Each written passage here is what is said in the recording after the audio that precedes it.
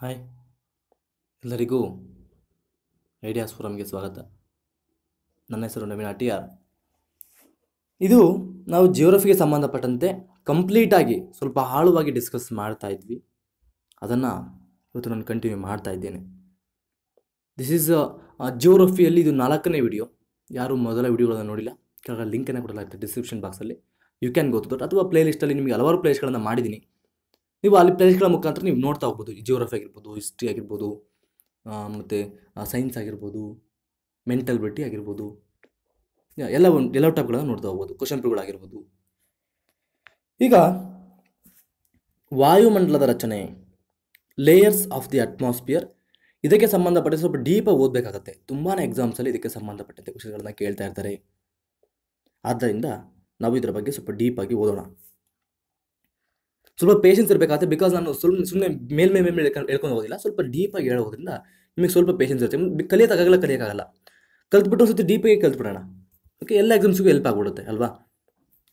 Layers of the atmosphere ವಾಯುಮಂಡಲದ ರಚನೆ. ನಾವು ಮುಖ್ಯವಾಗಿ ಐದು ಲೇಯರ್ಗಳನ್ನು, ವಾಯುಮಂಡಲವನ್ನು ಐದು ಲೇಯರ್ಗಳನ್ನಾಗಿ ನಾವು ಡಿವೈಡ್ ಮಾಡಲಾಗುತ್ತೆ, ವಿಂಗಡಣೆ ಮಾಡಲಾಗುತ್ತೆ. ಆ ಐದು ಲೇಯರ್ಗಳು ವೆರಿ ವೆರಿ ಇಂಪಾರ್ಟೆಂಟ್ ಆ ಆರ್ಡರ್ ನೆನ್ಪಿಟ್ಕೊಳ್ಳಿ ಕೆಳಗಿನಿಂದ ಮೇಲಕ್ಕೆ. ಒಂದು troposphere, stratosphere, mesosphere, thermosphere exosphere. Sir, ಕನ್ನಡದಲ್ಲಿ ಕನ್ನಡದಲ್ಲಿ ಕೂಡ ನಿಮಗೆ ಬಟ್ ಅದು ಕನ್ನಡದಲ್ಲಿ ಎಕ್ಸಾಮ್ಸ್ ಏನು ಮಾಡ್ತಾರೆ? ಕನ್ನಡದಲ್ಲಿ ಸಿಗ್ತದೆ ನಿಮಗೆ. ಆದರೆ ಏನು ಮಾಡ್ತಾರೆ? ಕನ್ನಡದಲ್ಲಿ ಎಕ್ಸಾಮ್ಸಲ್ಲಿ ಕೇಳೋದಿಲ್ಲ. ಈಗ ಎಕ್ಸಾಂಪಲ್ ಟ್ರೋಪೋಸ್ಪಿಯರ್ ಅಂತ ಕೇಳಬೇಕಂದ್ರೆ, ಕನ್ನಡದಲ್ಲಿ ಒಂದು ಟ್ರೋಪೋಸ್ಪಿಯರ್ಗೆ ಪರಿವರ್ತನಾ ಮಂಡಲ ಅಂತೀವಿ, ಪರಿವರ್ತನಾ ಮಂಡಲ ಅಂತೇಳಿ. ಬಟ್ ಎಕ್ಸಾಮ್ಸಲ್ಲಿ ಏನು ಮಾಡ್ತಾರೆ ನಿಮಗೆ ಪರಿವರ್ತನಾ ಮಂಡಲ ಗೊತ್ತಾಗುತ್ತೆ ಅಂತ ಹೇಳ್ಬಿಟ್ಟು ಟ್ರೋಪೋಸ್ಪಿಯರ್ ಅಂತಲೇ ಕೊಡ್ತಾರೆ. ಅದರಿಂದ ಸ್ವಲ್ಪ ಇಂಗ್ಲೀಷ್ ಪದಗಳನ್ನು ನೆನ್ಪಿಟ್ಕೊಂಡು ಟ್ರೈ ಮಾಡಿ. ಇದು ಇದಕ್ಕೆ ಸಂಬಂಧಪಟ್ಟಂತೆ. ಯಾ ಮೊದಲು ಟ್ರೋಪೋಸ್ಪಿಯರ್ ದಟ್ ಮೀನ್ಸ್ ಪರಿವರ್ತನಾ ಮಂಡಲ. ಎರಡನೇದು ಸ್ಟ್ರಾಟೋಸ್ಪಿಯರ್ ಸಮೋಷ್ಣ ಮಂಡಲ. ಮೂರನೇದು ಮಿಸೋಸ್ಪಿಯರ್ ಮಧ್ಯಂತರ ಮಂಡಲ ಮಧ್ಯಂತರ ಮಂಡಲ. And fourth one is thermosphere that is ಉಷ್ಣತಾ ಮಂಡಲ. ಥರ್ಮೋ ಮೀನ್ಸ್ ಉಷ್ಣತಾ ಉಷ್ಣತಾ ಮಂಡಲ. And exosphere exosphere means exo means ಬಾಹ್ಯ ಬಾಹ್ಯ ಮಂಡಲ ಅಂತೇಳಿ. Very very important topic for you ನೀವೊಂದು ಕೇಳಿತ್ತು ಸರ್ ಅಯೋನೋಸ್ಪಿಯರ್ ಕೇಳಿದ್ವಿ ಸರ್. ನೀವು ಇಲ್ಲಿ ಹೇಳಿಲ್ಲ ನಿಮಗೆ. ಓನ್ಲಿ ಫೈವ್ ಲೇಯರ್ಸ್ ಹೇಳಿದ್ವಿ. ಟ್ರೋಪೋಸ್ಪಿಯರ್ ಹೇಳಿದ್ರಿ ಸ್ಟಾಟೋಸ್ಪಿಯರ್ನ ಹೇಳಿದ್ರಿ ಮಿಸೋಸ್ಪಿಯರ್ನ ಹೇಳಿದ್ರಿ ಥರ್ಮೋಸ್ಪಿಯರ್ನ ಹೇಳಿದ್ರಿ ಎಕ್ಸೋಸ್ಪಿಯರ್ನ ಹೇಳಿದ್ರಿ. ಸರ್ ಅಯೋನೋಸ್ಪಿಯರ್ ಹೇಳಿಲ್ಲ ಅಂತಂದರೆ yes ionosphere is a part of thermosphere and exosphere ಈ ಒಂದು ಥರ್ಮೋ ಮತ್ತು ಎಕ್ಸೋಸ್ಪಿಯರ್ ಏನಿದೆ ಇದಕ್ಕೆ ಈ ಒಂದು ಎರಡನ್ನ ಸೇರಿಸಿ ನಾವು ಅಯೋನೋಸ್ಪಿಯರ್ ಅಂತ ಕರಿತೀವಿ. ಅಯೋನೋಸ್ಪಿಯರ್ ನಿಮಗೆ ಸಪ್ರೇಟ್ ಡಿಸ್ಕಸ್ ಮಾಡ್ತೀನಿ ಅಯೋನೋಸ್ಪಿಯರ್ ಬಗ್ಗೆ. ನಮಗಿದು ಈ ಒಂದು ಥರ್ಮೋಸ್ಪಿಯರ್ ಲೋವರ್ ಪಾರ್ಟಲ್ಲಿ ಅಯೋನೋಸ್ ಅಯೋನ್ ಅಯೋನೈಸೇಷನ್ ತುಂಬಾ ಜಾಸ್ತಿ ಇರುತ್ತೆ. ಆ ಒಂದು ಅಯೋನೈಸೇಷನ್ ಕಣಗಳು ತುಂಬಾ ಜಾಸ್ತಿ ಇರುತ್ತೆ. ಅವುಗಳ ಅಯನಗಳು ಜಾಸ್ತಿ ಇರ್ತಕ್ಕಂಥ ನೋಡ್ತಾ ಹೋಗೋಣ. ಈ ತ ಎಕ್ಸೋಸ್ಪಿಯರ್ ಕೂಡ ಇರ್ತಕ್ಕಂಥದ್ದು. ಆ ಎಕ್ಸೋಸ್ಪಿಯರ್ ಮತ್ತು ಥರ್ಮೋಸ್ಪಿಯರ್ನ ಸೇರಿಸಿ ನಮಗೆ ಅಯೋನೋಸ್ಪಿಯರ್ ಅಂತ ಕರಿತೀವಿ. ನಾವು ಅಯೋನೋಸ್ಪಿಯರ್ ಅಂತ ಸಪ್ರೇಟ್ ಇನ್ನು ಲೇಯರ್ ಇಲ್ಲ ಅದಕ್ಕೆ. ಸಪ್ರೇಟ್ ಲೇಯರ್ ಇಲ್ಲ. It's a part of thermosphere and exosphere ಅದು ಈ ಉಷ್ಣತಾ ಮಂಡಲ ಮತ್ತು ಬಾಹ್ಯ ಮಂಡಲದ ಒಂದು ಪಾರ್ಟು ಡಿಸ್ಕಸ್ ಮಾಡೋಣ. ಕೆಲವು ಪುಸ್ತಕದಲ್ಲಿ ಇದನ್ನೇ ಸಪ್ರೇಟು ಲೇಯರ್ ಅಂತ ಕನ್ಸಿಡರ್ ಮಾಡಿದ್ದಾರೆ. ಸಿಕ್ಸ್ ಲೇಯರ್ಸ್ ಅಂತ ಕನ್ಸಿಡರ್ ಮಾಡಿ ಐನೋಸ್ಪಿಯರ್ ಅಂತ ಸಪ್ರೇಟ್ ಮಾಡಿದ್ದಾರೆ. ದಟ್ ಇಸ್ ಸ್ವಲ್ಪ ಇಟ್ ಇಸ್ ಇಲ್ಲಾಜಿಕಲ್ ಅಂತ ಹೇಳ್ಬೋದು. But it is correct thermosphere and ಎಕ್ಸೋಸ್ಪಿಯರಲ್ಲಿ ionosphere ಇರುತ್ತೆ. ನಿಮಗೆ ಡಯಾಗ್ರಾಮ್ಗಳ ಮುಖಾಂತರ ಎಕ್ಸ್ಪ್ಲೈನ್ ಮಾಡ್ತೀನಿ. ನಾರ್ಮಲ್ ಆಗಿ ಇದು ಎಂಬತ್ತು ಕಿಲೋಮೀಟರ್ ಐನೋಸ್ಪಿಯರ್ ಎಂಬತ್ತು ಕಿಲೋಮೀಟರಿಂದ ಐನೂರ ಐವತ್ತು ಕಿಲೋಮೀಟರ್ವರೆಗೆ ನಾರ್ಮಲ್ ಆಗಿ ಎಕ್ಸ್ಟೆಂಡ್ ಆಗಿರುತ್ತೆ. ನಾರ್ಮಲ್ ಆಗಿ lower part of the thermosphere ಥರ್ಮೋಸ್ಪಿಯರ್ನ ಕೆಳಭಾಗದಲ್ಲಿ ತುಂಬ ಜಾಸ್ತಿ ಮಟ್ಟಕ್ಕೆ ಐನೇಷನ್ ಜಾಸ್ತಿ ಇರುತ್ತೆ ಕಣಗಳು ಅಂತ ನೋಡ್ತಾ ಹೋಗೋಣ. ಈಗ ಇಂಪಾರ್ಟೆಂಟ್ ಅದಕ್ಕಿಂತ ನಾನು ಸ್ಟಾರ್ಟ್ ಡೈರೆಕ್ಟಾಗಿ ಟ್ರೋಪೋಸ್ಪಿನ ಸ್ಟಾರ್ಟ್ ಮಾಡ್ಬೋದು. ಬಟ್ ಅದಕ್ಕಿಂತ ಮುಂಚಿತವಾಗಿ ನಿಮಗೆ ಏನು ಇಂಪಾರ್ಟೆಂಟ್ ಬೇಸಿಕ್ಸನ್ನು ನೋಡ್ತಾ ಹೋಗೋಣ. ನಾನು ನಿಮಗೆ ಹೇಳಿದಾಗೆ ಅಟ್ಮಾಸ್ಫಿಯರನ್ನು ವಾಯುಮಂಡಲವನ್ನು ನಾವು ಐದು ಲೇಯರ್ಗಳನ್ನಾಗಿ ನಾವು ಡಿವೈಡ್ ಮಾಡಿದ್ದೀವಿ. ಯಾವ ಆಧಾರದ ಮೇಲೆ ಡಿವೈಡ್ ಮಾಡಿದಿರಿ? ಯಾವ ಆಧಾರದ ಮೇಲೆ ನಾವು ಡಿವೈಡ್ ಮಾಡಿದ್ದೀವಿ? ವಿಂಗಡಣೆ ಮಾಡಿದ್ವಿ ಅಂತಂದರೆ, ತಾಪಮಾನ ಮತ್ತು ಸಾಂದ್ರತೆಗೆ ಸಾಂದ್ರತೆಯ ಒಂದು ಅನುಗುಣವಾಗಿ ತಾಪಮಾನ ಆ್ಯಂಡ್ ಟೆಂಪರೇಚರ್ ಆ್ಯಂಡ್ ಡೆನ್ಸಿಟಿಯ ಆಧಾರದ ಮೇಲೆ ನಾವು ಐದು ಲೇಯರ್ಗಳನ್ನಾಗಿ ವಾತಾವರಣವನ್ನು, ವಾಯುಮಂಡಲವನ್ನು ಐದು ಲೇಯರ್ಗಳನ್ನಾಗಿ ಡಿವೈಡ್ ಮಾಡಿದ್ದೇವೆ.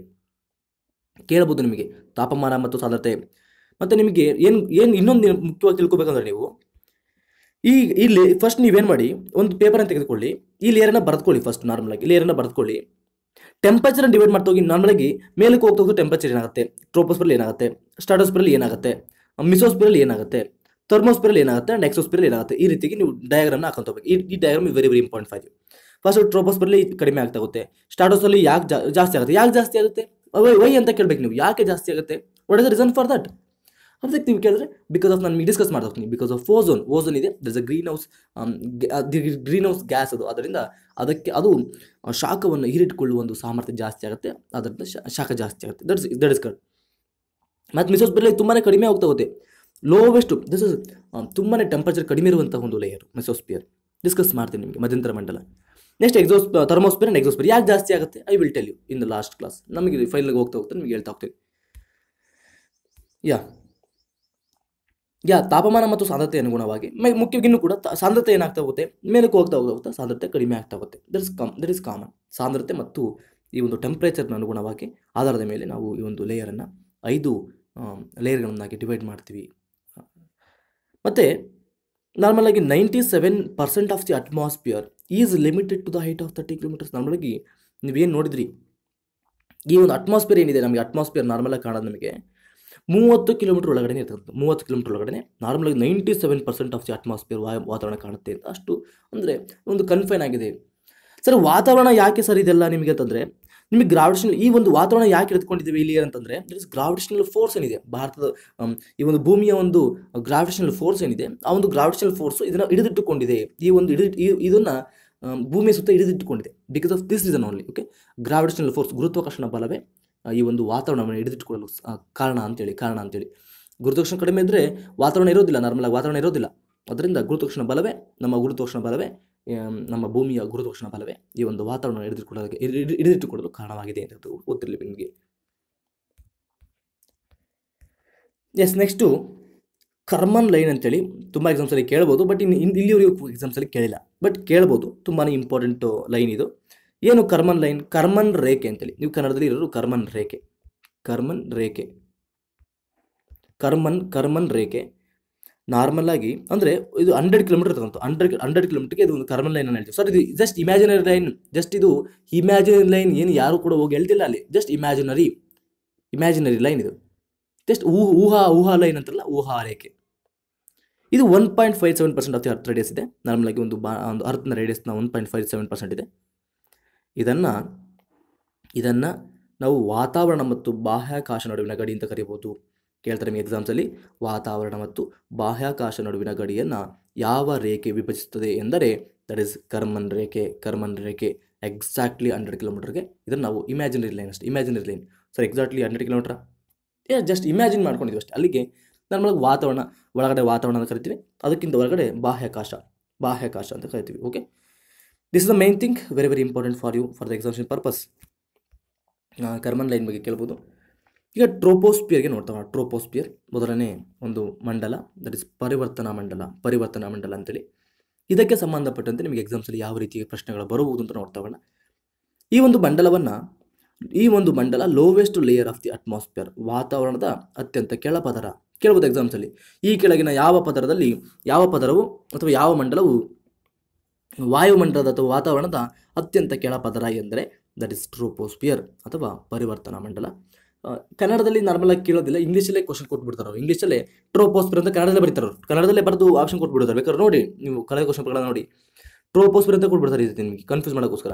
ಅದರಿಂದ ಸ್ವಲ್ಪ ಇಂಗ್ಲೀಷಲ್ಲಿ ನೆನ್ಬಿಡ್ಕೋಬೇಕು ಕಂಪಲ್ಸರಿ ನೆನ್ಬಿಡ್ಕೋಬೇಕಾಗತ್ತೆ ದಸ್ ಅಕ್ ಮ್ಯಾಂಡೇಟರಿ ವಾತಾವರಣದ ಅತ್ಯಂತ ಕೆಳಪದರ ಈ ಒಂದು ಟ್ರೋಪೋಸ್ಪಿಯರ್ ಮುಖ್ಯವಾಗಿ ಈ ಒಂದು ಟ್ರೋಪೋಸ್ಪಿಯರ್ನ ಒಂದು ಎಷ್ಟು ಇದು ಎಕ್ಸ್ಟೆಂಡ್ ಆಗಿದೆ ಅಂತೇಳಿ. ಎಷ್ಟು ಎಕ್ಸ್ಟೆಂಡ್ ಆಗಿದೆ ಅಂದರೆ ನೆನ್ಪಿಟ್ಕೋಬೇಕಾಗತ್ತೆ ಈ ಒಂದು ಸಮಭಾಜಕೃತ ಪ್ರದೇಶದಲ್ಲಿ ಹದಿನೆಂಟು ಕಿಲೋಮೀಟರ್ವರೆಗೆ ಇದು ಎಕ್ಸ್ಟೆಂಡ್ ಆಗುತ್ತೆ.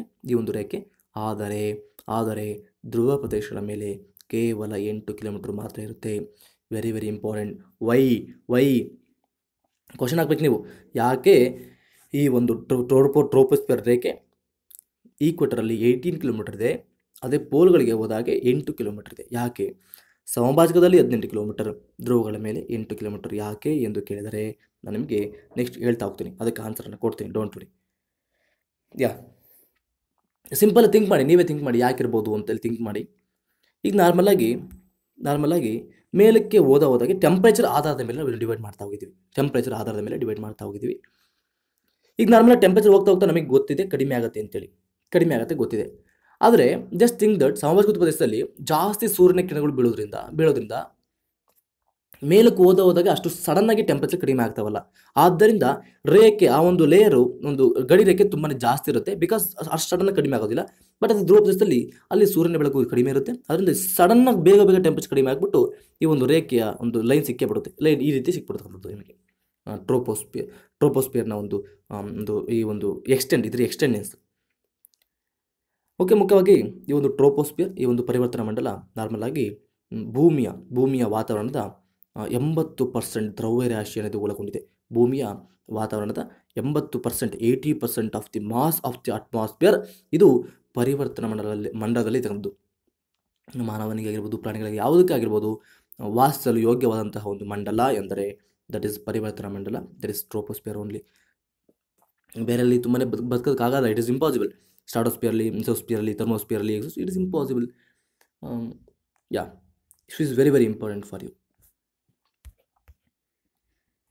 ಮತ್ತು ಇದು it is not that much important but ಅದು ಸುಮ್ಮನೆ ಓದ್ಕೊಂಡಿರಿ ಅಷ್ಟೇ. Fifty percent of the total mass of the atmosphere is located in the lower level lower five point six percent of six percent of the sorry kilometre of the troposphere fifty percent of the total ದ್ರವ್ಯ ರಾಶಿ ಅಂತ ಕರಿತೀವಿ, ಅದು ಐದು point ಆರು ಕಿಲೋಮೀಟರಲ್ಲಿ ಇದೆ ವಾತಾವರಣದ ಒಂದು ಭೂಮಿಯ ಮೇಲ್ಮೈಯಿಂದ ಐದು ಪಾಯಿಂಟ್ ಆರು ಕಿಲೋಮೀಟರ್ ಇಷ್ಟೊಂದು ವಾತಾವರಣ, ಐವತ್ತು ಫಿಫ್ಟಿ ಪರ್ಸೆಂಟ್ ಆಫ್ ದಿ ವಾತಾವರಣ ನಮ್ಮ ಮಾಸನ್ನು ಕಾಣಬಹುದು ಅಂತ ನಾವು ಅಷ್ಟೇ ಜಸ್ಟ್ ಇಂಪಾರ್ಟೆಂಟ್ ಬಟ್ ಎಕ್ಸಾಮ್ಸಲ್ಲಿ ಕೇಳೋದಿಲ್ಲ.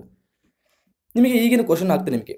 ಯಾಕೆ depth of the troposphere is maximum ಅಂತ equator than the poles due to ಯಾಕೆ ಈ ಒಂದು ಟ್ರೋಪೋಸ್ಪಿಯರ್ನ ಎಕ್ಸ್ಟೆಂಡ್ನೆಸ್ಸು ಈ ಈಕ್ವಟರಲ್ಲಿ ಮ್ಯಾಕ್ಸಿಮಮ್ ಇದೆ ಪೋಲಲ್ಲಿ ಯಾಕೆ ಕಡಿಮೆ ಇದೆ ಅಂತ ನೋಡ್ತಾ ಹೋದರೆ ಕಾರಣ ಕಾರಣ ಸ್ಟೆಪ್ ವೈಸ್ ಹೇಳ್ತಾ ಹೋಗಿದ್ದೀನಿ ನಿಮಗೆ. Hot convection currents or the equator. Normal ಆಗಿ ಈ ಈಕ್ವೆಟರ್ ಸಮಸ್ಕೃತದಲ್ಲಿ ಹಾರ್ಟ್ ಕನ್ವೆನ್ಷನ್ ಜಾಸ್ತಿ ಶಾಖ ಇರ್ತಕ್ಕಂಥದ್ದಾಗಿರ್ಬೋದು.